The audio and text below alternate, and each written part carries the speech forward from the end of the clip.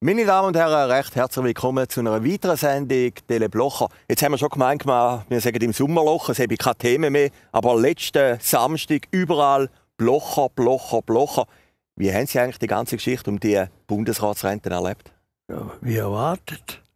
Also wenn man so lange in der Politik ist, weiß wie das Zeug abläuft. Also zuerst einmal, das ist ja alles unter Amtsgeheimnis. Und die Bundeskanzlei, die stellt ja den Antrag oder die entscheidet äh, oder stellt den Antrag, gesagt hat, das werde alles ähm, selbstverständlich streng vertraulich behandelt. Da habe ich laut gelacht und gesagt, ich bin lang genug in diesem Betrieb die und vor allem bin ich Bundesrat gewesen. Da ist ja klar, dass das selbstverständlich auch wieder rausgeht. Wo ist denn rausgegangen? Bei der Bundeskanzlei oder im Bundesrat? Nein, also ich muss sagen, Bundeskanzlei, das hat ja äh, lang bearbeitet worden. Das ist absolut äh, stillgekippt. Aber es ist am Ende von der Bundesratssitzung im Bundesrat und dann ist es zwei, drei Tage gegangen. Das geht im Umfeld, das sind nicht Bundesräte selber, wo das da, äh, aber ist ja klar, ein Bundesrat, der ist nicht immer alleine wie auf dem Mond, sondern der hat ein grosses Umfeld. Und da hat es natürlich äh, Leute, die auslösen Gesetze, also punkto Indiskretionen, ist es beim jetzigen Bundesrat so schlimm, ist glaube noch nie gewesen. Und zwar ist der Trick heute, dass es immer rauslösen, bevor der Bundesrat beschlossen hat. Am schlimmsten ist eigentlich das Departement von Herrn Berse. Da muss es Leute haben und der Tagesanzeiger. Ich habe mal gesagt, der Tagesanzeiger ist sämtliche Publikationsorgan vom Departement von Herrn Perse. Immer vor der Bundesratssitzung wird das dort ausbreitet und immer so, das merken wir, dass er immer günstiger Licht steht. Zu meiner Zeit ist das strafrechtlich verfolgt worden. Sie haben immer gemeint, ich lasse etwas raus. Ich war nicht so dumm, dass ich etwas rausgelassen habe. Aber in dem Fall ist ja nicht. Der Einzige, der es verwünscht hat, dort mal, ist das Departement von Merkuschmann oder? Aber in dem Fall ist ja nicht über den Tagesanzeiger gelaufen, die Geschichte, sondern über die Tagauer Zeitung. Ja, die sind, das ist jetzt nachher gekommen, aber ja, die Tagauer Zeitung ist einfach, die, die sind die Ersten gewesen und nachher die Zweite, Dritte, aber sind alle, ich weiß es auch nicht, wo es, bei wem spielt Also wissen es konkret nicht, ja. Aber sie haben gefragt, ob ich das, ich habe doch das gewusst. Zweitens habe ich doch gewusst, das gibt einen riesen Mais. Ist ja klar, es gibt einen riesen Mais. Und es gibt immer das Gleiche. Da kommen die Gegner und unterschieben den noch einen Teil und machen den Mais. Da musst du einfach über dich gehen lassen. So habe ich ja gesagt, der, der, der große Lehrmeister bei so einem Angriff ist immer der Alphöhe im Johannesspiel ihrem Heidi, oder?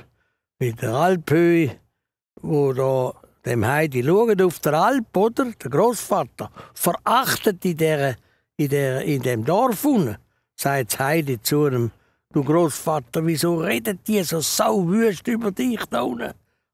Hat der der so gegen dich sind? Und hat der Großvater gesagt, los Heidi, musst die Leute reden lassen, die Hühner können es nicht. Aber jetzt Das ist, das ist wichtig, oder? Und nicht, nicht, nicht anfangen, umeinander zu päcken, sondern da kannst du gar nichts machen, oder? Aber gleich, es ist ja, ich sage es jetzt mal, nicht angenehm. Wenn, ich meine, Nein, alle, nein, angenehm. Da muss man tragen. Da muss man tragen. Man muss natürlich immer schauen, hat man nichts Unrechts gemacht. Oder wenn das etwas Unrechts ist, dann ist natürlich, oh, man muss auch selbstkritisch sein, oder? Aber wenn man weiß, erstens, es ist nichts Unrechts und zweitens, es dreht sich immer alles zum Guten. Selbst wenn jetzt hier, wird jetzt langsam dann nicht mehr rechtlich entschieden, sondern das merken wir, geht die Finanzen, die sind ja Politiker, oder? Und das kenne ich ja da. aber Fall Hildebrand ist ja ganz gut gewesen, oder? oder muss er alles gemacht, hat mich noch gar noch eingeklagt und Hausdurchsuchung und alle Keim. Nachher ist alles im, Sa im Sand verlaufen. Und äh, wenn man nichts Unrechts gemacht hat, bringt das nicht. Aber es bringt eben auch Gutes. Man wird stark, wenn man das eben kann in Kauf nehmen kann. Und jetzt, was ist jetzt das Positive an der Geschichte? erstens kommt es mal aus, dass Bundesrat alles beziehen, wenn die zurücktreten. Das ist gar keine Rente. Eine Rente ist ja fürs Alter. Also wenn einer mit 50 zurücktritt, hätte die Zahlung, wenn der Rente. Und so bis, es, bis zum Tod. Und ich habe ja das immer bekämpft, als ich noch nicht Bundesrat war. Und nachher aber auch noch im Bundesrat habe ich gesagt, es sollte nie so hoch sein, dass einer, der Bundesrat werden wegen der Bezahlung. Und wegen der Bezahlung, die haben ja etwa 500'000, oder? Und äh, äh, eine Zahlung in der Hälfte von dem Betrag, äh, sofern er nicht äh, noch Nebenbeschäftigung hat und dort viel mehr verdient. Also einer, der im Verwaltungsrat geht, in diesen großen Verwaltungsräten haben sie ja, haben sie ja Millionen oder ich weiß nicht was, dann kommt er, wird die Rente gekürzt. So, jetzt ist das einmal bekannt und jetzt habe ich gemerkt, es wird aufgenommen. Äh, der Ständerat Hecklin, der ist ja Präsident der Finanzkommission, sagt, ja, jetzt müssen wir das endlich einmal machen, eine rechte Pensionskasse für die Bundesräte dass die Arbeitgeberbeiträge zahlen und die anderen Arbeitgeberbeiträge. Etwas, was ich immer wollte, aber nie gut geheißen worden ist. Vom Parlament nicht und vom, vom, äh, von, von dem, vom, vom, äh, vom Bundesrat nicht. Und als ich im Bundesrat war, habe ich es wieder zur Sprache gebracht.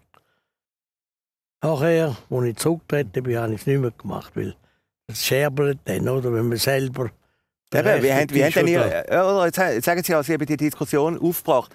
Wie haben denn Ihre ehemaligen Bundesratskollegen reagiert? Haben Sie auch gehört etwas von Ihnen? Nein, also der Bundesrat hat ja beschlossen und hat gesagt, ja, den Rechtsanspruch habe ich. Und es ist ja so, jetzt natürlich kommen ja die Journalisten, also die Schlimmsten, überhaupt die linke Zeitung, heute ist auf der Tagesanzeiger und hat einfach einen SVP-Hass. Das ist halt so. Da, äh, wenn da ein Journalist sagt, ich hätte mich brüstet im Leben. Also, das, das, wie wenn ich das als Verdienst angeschaut Ich bin immer wieder gefragt worden, habe ich gesagt, ich beziehe es nicht.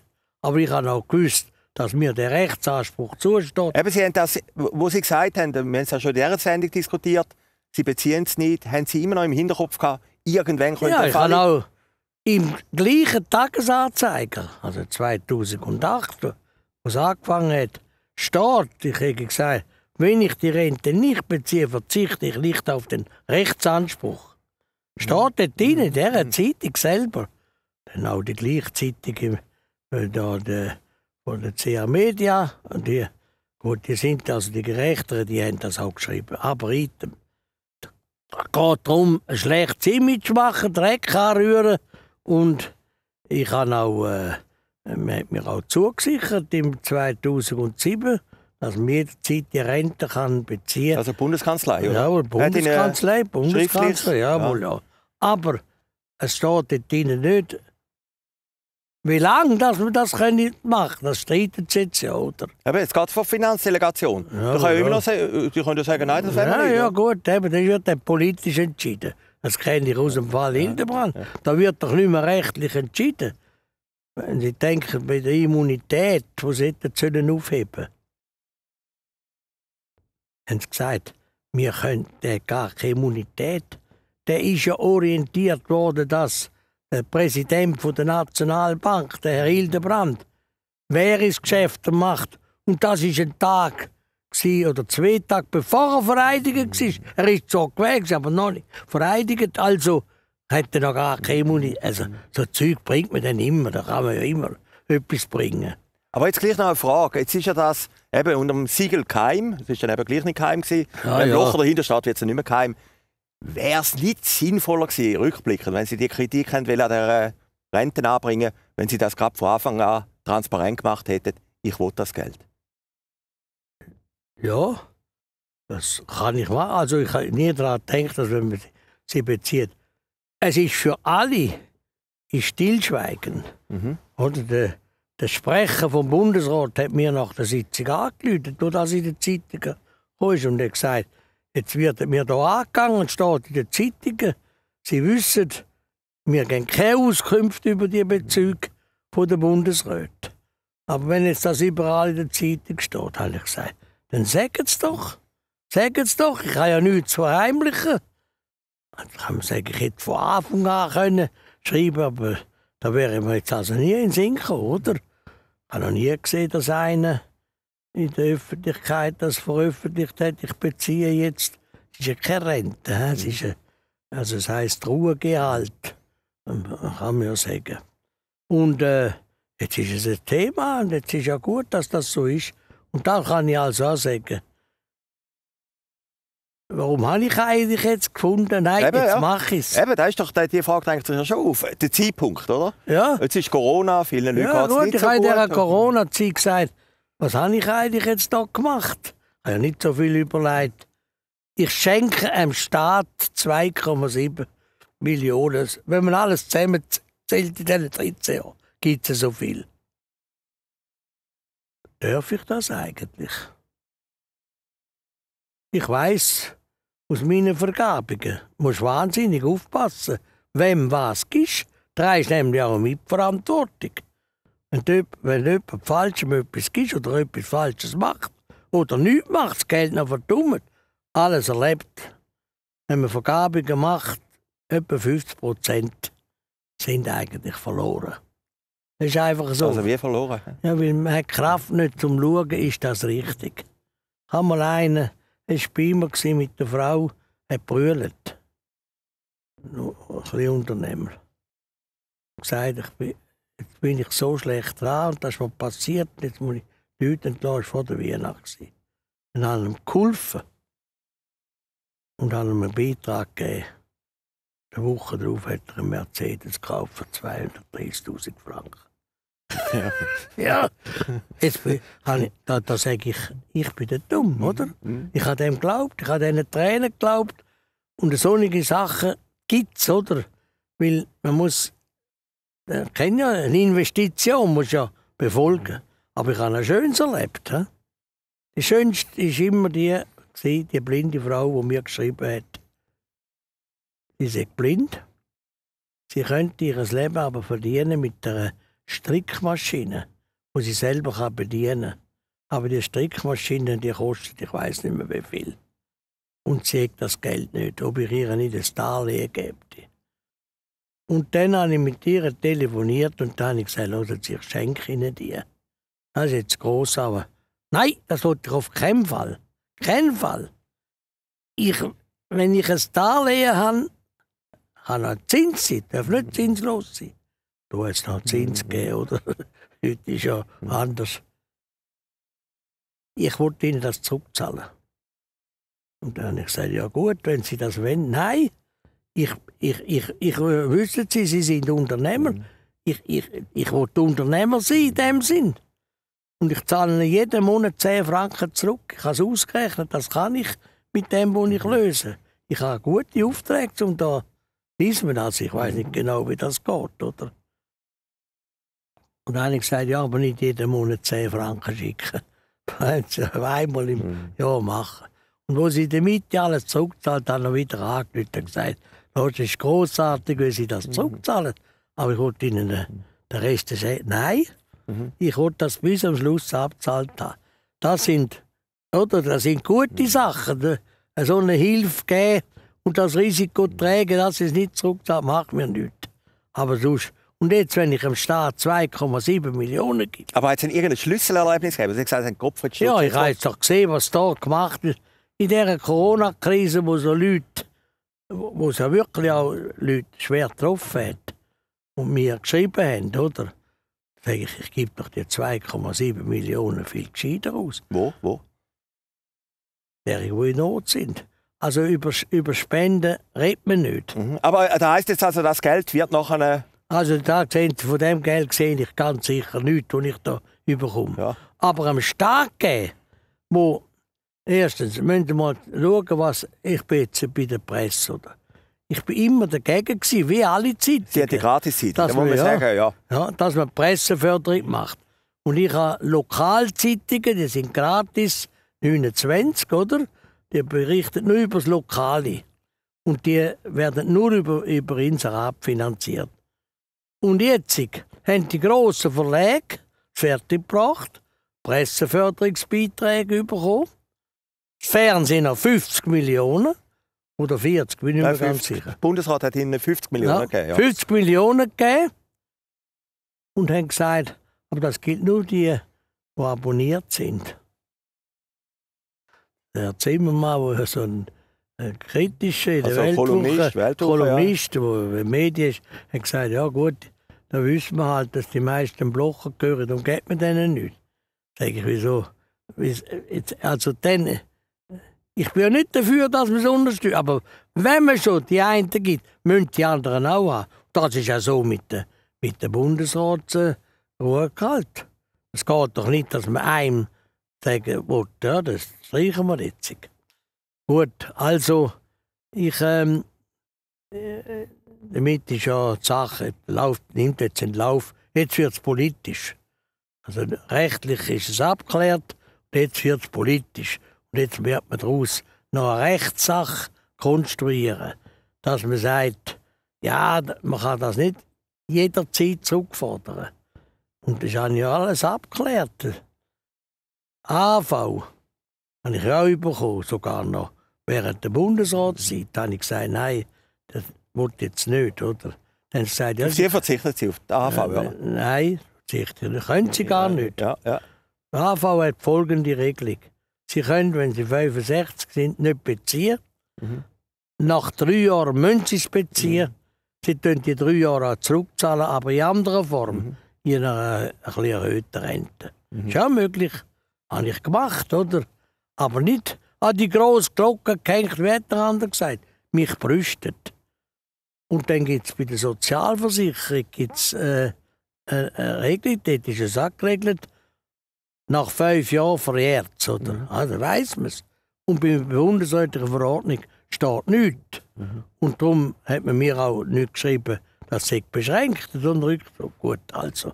Also ist jetzt hochinteressant. Es gibt zwei Varianten. Die erste Variante ist, dass nach der Finanzdelegation Sie der einzige Bundesrat sind, der nichts überkommt, oder? Ja, ja. Das ist möglich. Vielleicht auch nicht, ja. nicht nichts. Nicht, oder also, man wird dann das ist unbestritten, dass ich ja, die ja. sowieso überkomme. Aber. Ja. Und die zweite Variante, Sie kommen das Geld über, die, zwei, die berühmten 2,7 Millionen.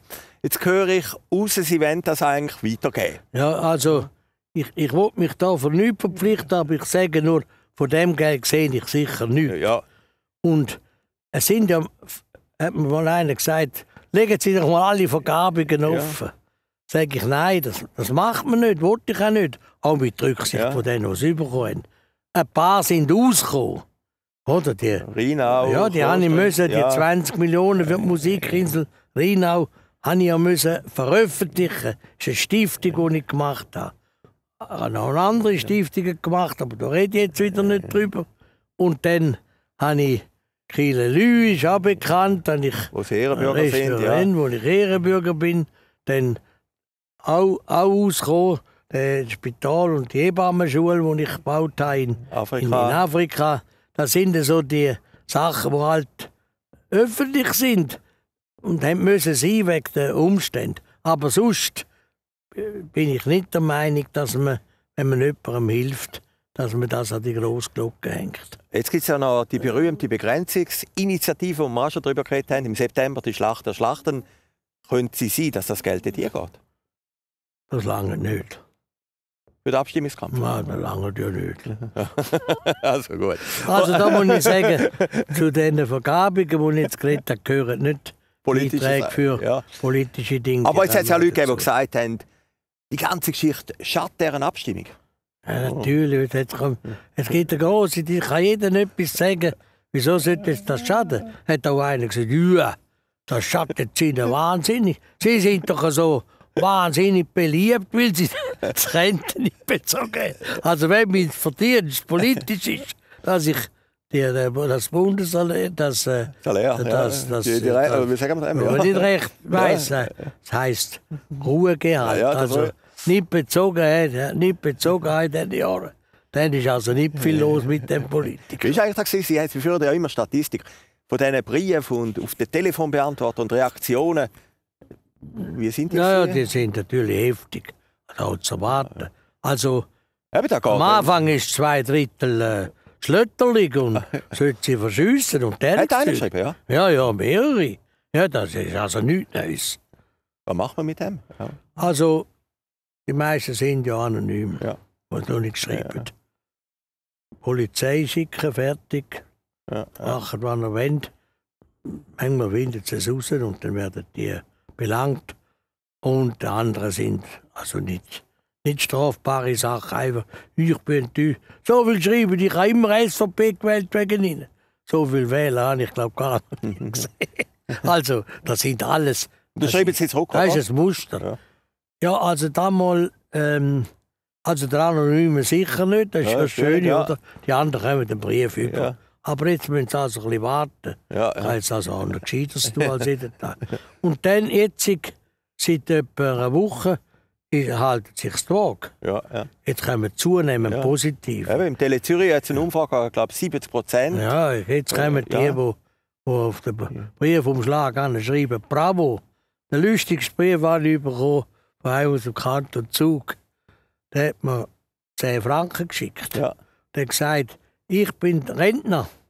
Und ich also so, ich tue meistens einen Teil von meinen Rentner den Leuten schicken, die es nötiger haben als ich. Ich schicke jetzt 10 Franken. da habe ich gesagt, ich danke ihm vielmals. Das ist eine ganz gute Idee von ihm. Er soll das weitermachen.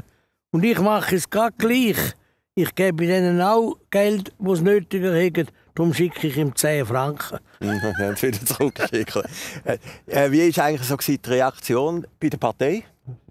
Na, es, äh, also, es, ist, äh, es hat auch der gehabt, wo, wo gesagt was ist denn da los? Das ist ja klar, die Parteimitglieder lassen sich auch beeinflussen von den Zeitungen. Und wenn so wüste Sachen stehen, da der, der, der, der Schädler oder schreibt, ich hätte mich brüstet und, und ich hätte ich da ein, ein Ding, einen Skandal gemacht, indem ich das beziehe, oder?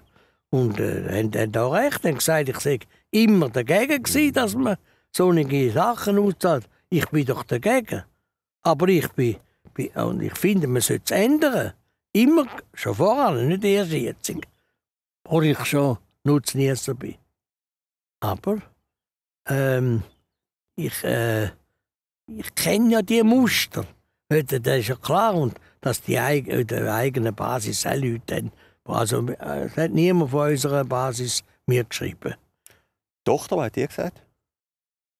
Eine Tochter, also nur, nur eine hat mir, die Jüngste, hat mit der anderen reden wir gar nicht über so Zeug. Die haben auch ihre, ihre Sorgen, oder? Und die Jüngste hat gesagt, es ist jetzt noch gut, dass du das gemacht hast. Jetzt sieht man mal, was da bezogen wird.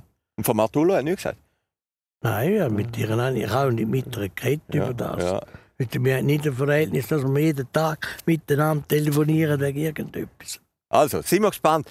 Wann wird die Finanzdelegation entscheiden? Weiß man das schon? Da weiß ich nicht. Nein, eine Sitzung haben sie, glaube ich, im September oder Aha. was.